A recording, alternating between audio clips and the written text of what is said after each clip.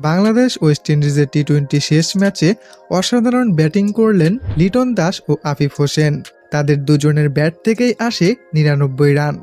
টসে জিতে ব্যাটিংয়ে নেমে দুর্দান্ত শুরু করেছিলেন লিটন দাস। উনপঞ্চাশ রান যোগ করেন তিনি। এর মধ্যে বাউন্ডারি তিনটি চার এবং দুটি ছয় মারেন। যদিও ছোট্ট একটি ভুলের কারণে তার হাফ সেঞ্চুরিটা মিস হয়। এরপরই দেখা যায় আফিফ হোসেনের দুর্দান্ত ব্যাটিং। আটত্রিশ বলে পঞ্চাশ রান করেন তিনি। বাউন্ডারি দুইটি চার এবং দুইটি ছক্কা মেরে মাহমুদুল্লাহর সাথেও পার্টনারশিপ করেছিলেন। কিন্তু দুর্ভাগ্যবশত রান আউট হয়ে প্যাভিলিয়নে ফিরতে হয় তাকে। তা না হলে ইনিংসটি আরও বড় করতে পারতেন।